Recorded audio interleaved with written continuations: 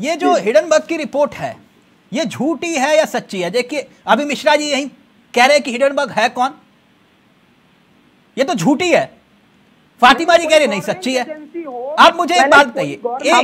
मिश्रा जी एक मिनट सुन लीजिए ना जैन साहब को। झूठा कौन है? ये तो जाँच बताएगी ना। फातिमा जी वही मैं कह रहा हूँ एक मिनट रुकिए ना एक मिनट एक उसके पीछे पड़ी है।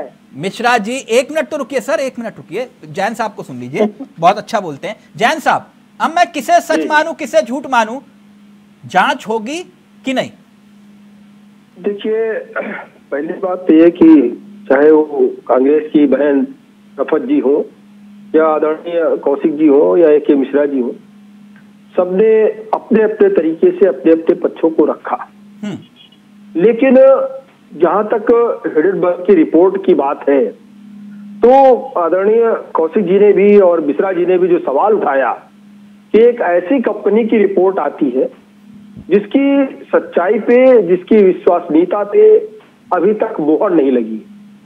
और अगर वो कंपनी कुछ और कंपनियों की जाँच करके रिपोर्ट दे चुकी होती उसकी रिपोर्ट्स को सच्चाई पे खरी उतरी होती तब तो उस पर विश्वसनीयता की जा सकती थी। इसे खारिज कर दे एक कंपनी का सुन लीजिए मेरी बात मैं बहुत बहुत संक्षिप्त में बताऊँगा। नहीं मैं कह रहा हूँ इसको फिर खारिज कर दे सरकार कि बोले इससे कोई लेने देने नहीं सब कुछ ओके।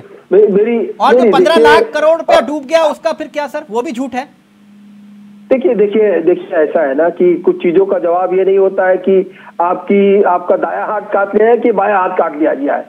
ये आप इसका इसका जवाब दीजिए। तो जिसको दोनों हाथ नहीं काट दे तो जवाब तो पूरा देगा ना। तो आप तो ये पूछ रहे हैं कि दाया हाथ काट ले या बाया हाथ काट ले? नहीं नहीं हाथ तो धोनी कटा ये तो कंफर्म है।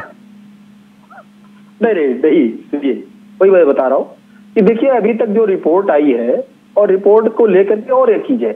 अभी मिश्रा जी ने बहुत सही बात कही कि शेयर मार्केट स्टॉक मार्केट में exchange stock stock exchange market में परसेप्शन पे बहुत कुछ डिपेंड करता है।